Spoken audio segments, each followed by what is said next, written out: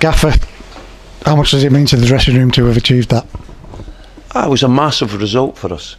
A really, really positive result. It wasn't vintage football from us. It wasn't fast flowing football at times, but we showed a determination and we showed a mentality that you need at uh, periods like this in the season. And um, the most important thing is to win the game, no doubt about it. It's interesting, we actually start the game very well.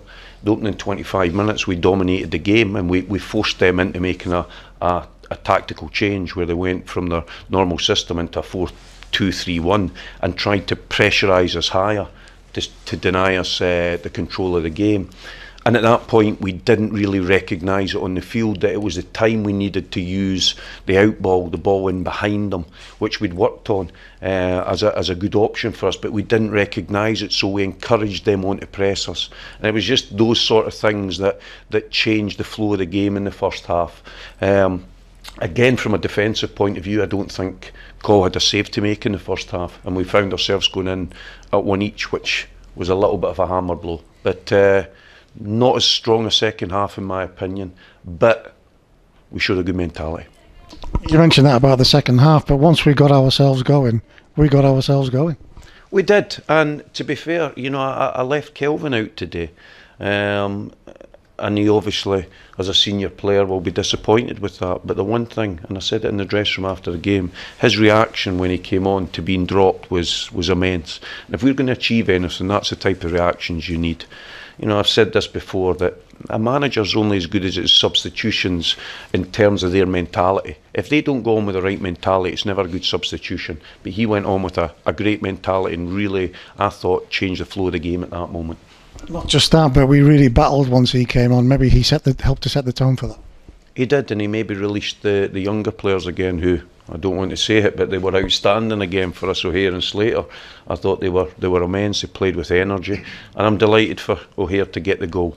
The way we started, that really set a tone. It was a great start to the game. A really good start. We played some good football, patient football, because we watched them and they're they're a good side. They're a very good side. They're on a really good run. Um, and we're delighted the goal came from moments that we, we looked to, to work towards. You know, a great bit of play from Dev, finding that area we talked about, and good movement from uh, from H, and in the end, a, a strong finish. So, a, a, really, really good start from us. Um, we just got a little bit nervous, and I thought we stopped passing the ball. We lost a little bit of belief, and when you're on a little wobble like we were, that, that sometimes happens.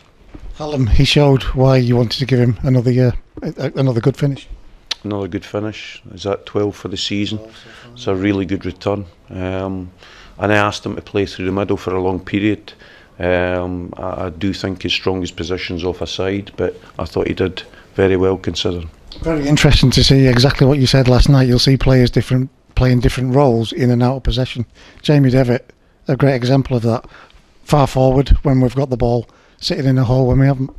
Yeah, the, the, the situation is with with uh, with Dev is that we, we we obviously understand how important he is to the team in terms of his contribution with possession, and out of possession we ask him to to to obviously be part of the group because uh, the way we play and the way we we defend, we can't have any passengers. So he has to put in that side. But when we get the ball, we give him that freedom to roam. And we, we spoke about a certain position that we felt he could hurt them in.